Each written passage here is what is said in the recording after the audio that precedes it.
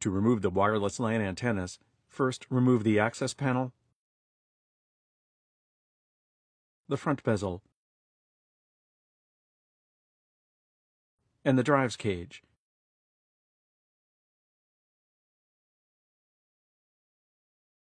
Carefully snap off the antennas from the wireless LAN board. Remove the rear antenna from the small cable tunnel next to the motherboard. Remove the rear antenna cable from the cable guide on the inside rear wall of the PC. Squeeze the bottom side tabs of the rear antenna cover to release the bottom of the cover and pull the cover off of the unit. Detach the Phillips number 1 screw for the rear antenna. Pry the antenna off of the rear of the unit and pull its cable out the rear of the unit.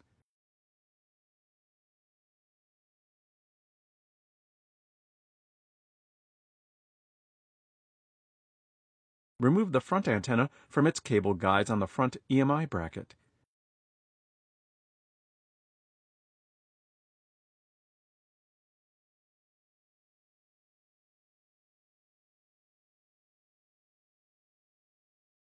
Pull the front antenna cable out to the front of the unit through its access hole.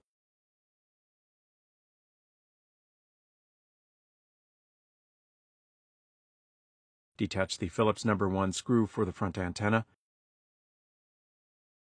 and pry the front antenna off of the unit.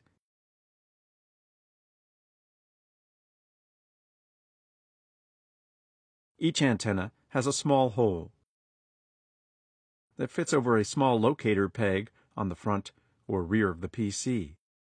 To replace the front antenna, align the hole on the antenna over its alignment peg and press the antenna adhesive onto the chassis.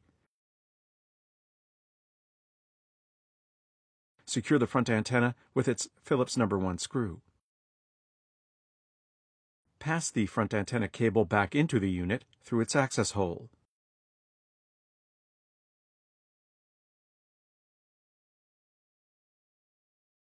Route the front antenna cable back into the cable guides on the front EMI bracket.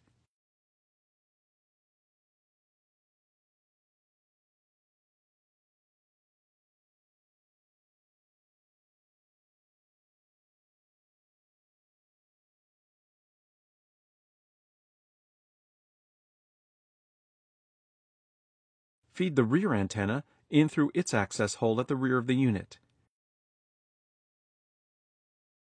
Align its hole over its peg and press onto the chassis. Secure the rear antenna with its Phillips number 1 screw. The rear antenna cover has two small hooked tabs on the bottom sides and two tabs on the top sides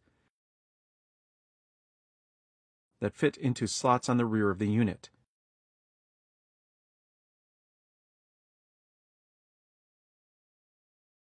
To replace the cover, insert the two top tabs into their slots, then press the bottom of the cover until the bottom tabs have snapped into place.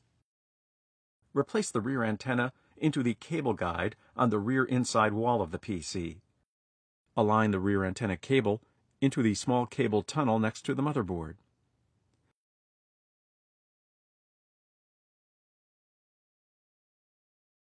Replace the antennas to the wireless LAN board.